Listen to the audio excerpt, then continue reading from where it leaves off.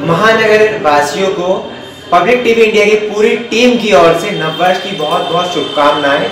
साथ ही colours of colours of youth पत्रिका की तरफ़ से भी ढेरों सारी शुभकामनाएँ।